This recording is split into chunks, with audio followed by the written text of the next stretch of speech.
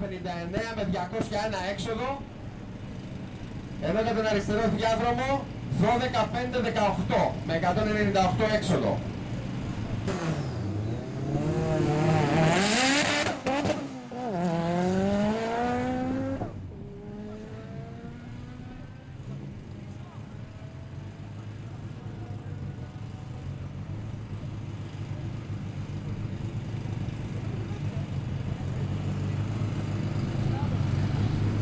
Αλφα Τραφ 1.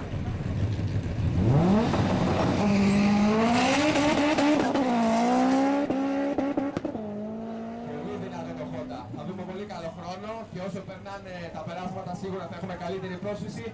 Ο χρόνος λοιπόν για το δεξί διάδρομο 11-5-5-8 με 183 έξοδο.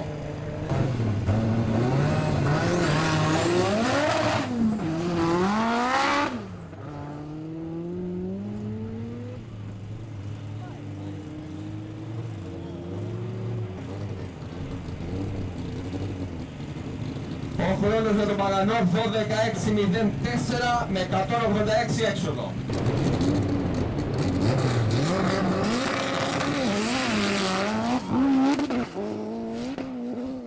Δεν πιστεύω αυτό το πράγμα.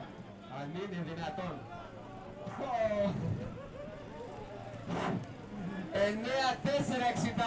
με όλα αυτά που βλέπετε. Δεν είναι δυνατόν. 9-4-68.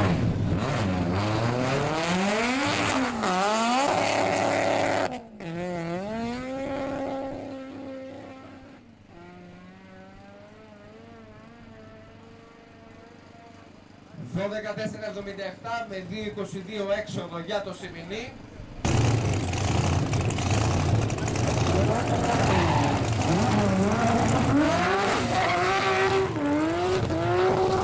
Πολύ δυνατό, πολύ δυνατό να μάξει και εκτιχνώνως πολύ καλή πρόσθεση. Σίγουρα μπορεί να κάνει καλύτερο χρόνο από αυτό που θα δούμε τώρα. 11-7-54. 11-7-54 με 2-11 έξοδο και πάμε να δούμε